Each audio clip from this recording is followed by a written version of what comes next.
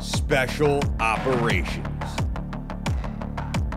Covert Ops, Espionage, The Team House, with your hosts, Jack Murphy and David Park.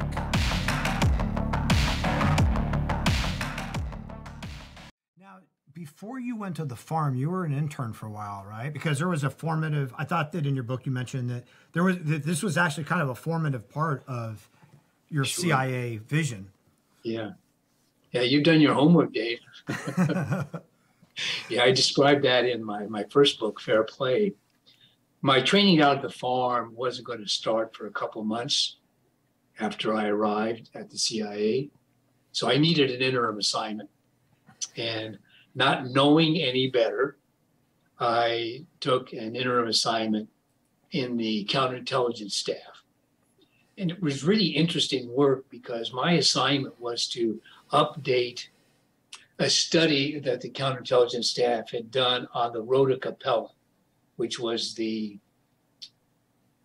the Russian networks in German occupied Europe uh, during World War II.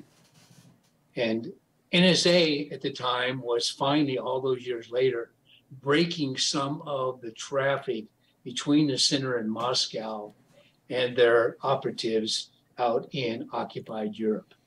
Uh, they were communicating, of course, via clandestine radios.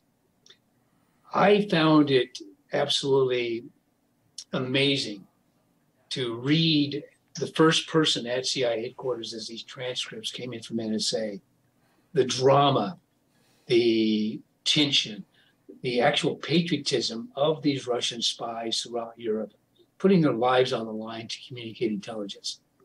My job was to incorporate what we were learning about these Russian networks of the Rote Kapelle into the previous study. And I worked pretty hard on that. And I thought I'd done a pretty good job. And in fact, some of my supervisors did also. So they said, as I was getting ready to leave the counterintelligence staff to start my training down at the farm, Jim, you've done a good job here, and we want you to get the appropriate recognition. And so we, we've arranged a meeting, a farewell meeting for you with the man himself. And by the man himself, of course, they meant the chief of the counterintelligence staff, the legendary James Jesus Angleton.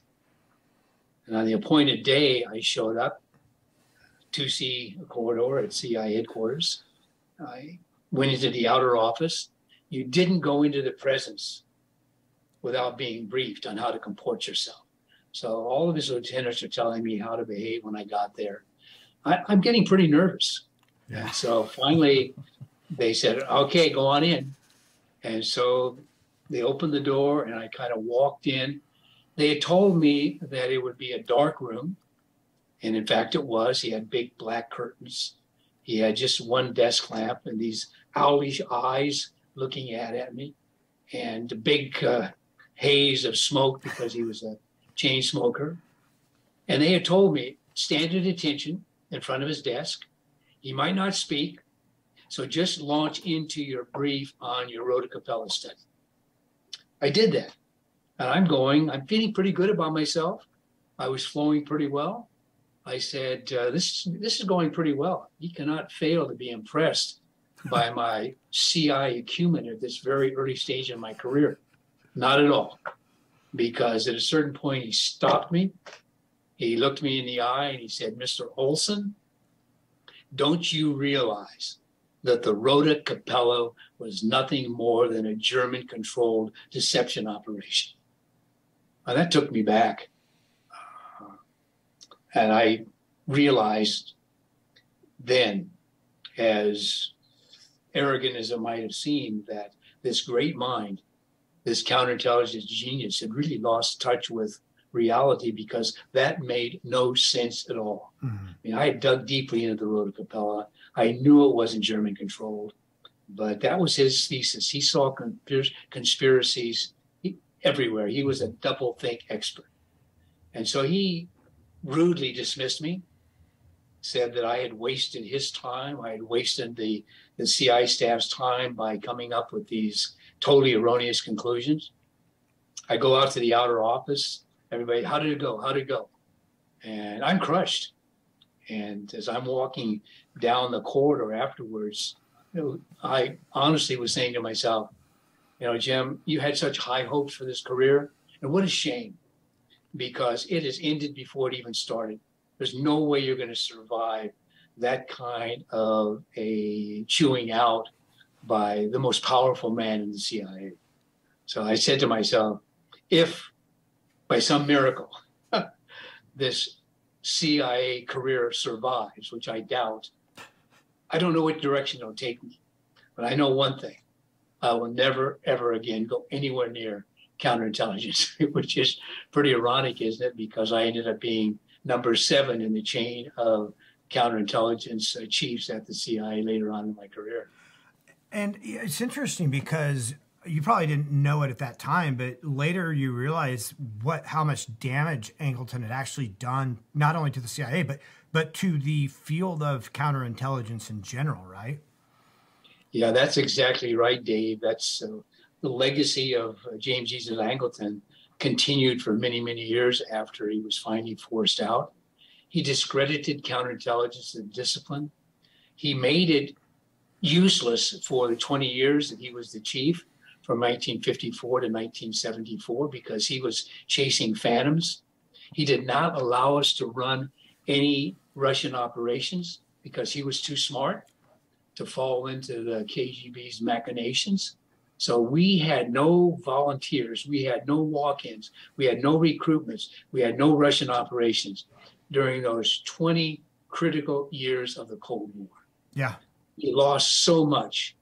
It was a disaster. And it was only after we finally got rid of him in at the end of uh, 1976 that we were able slowly to try to get back into uh, real counterintelligence operations, running operations against the Russians. Yeah. He had destroyed our Russian operational program for all those years. And, uh, and, and I can never forget that. But even after he left, uh, the reputation of counterintelligence was so tainted. Mm-hmm. It was so out of vogue for anybody to go into counterintelligence that we had trouble attracting good people to go into counterintelligence. And that persisted for many, many years. And, and at the same time, there actually were moles at CIA and other governmental institutions that, correct me if I'm wrong, Jim, were, were not being sussed out because of this. That's right you know, counterintelligence was useless. It was worse than useless because it was preventing us from doing real counterintelligence.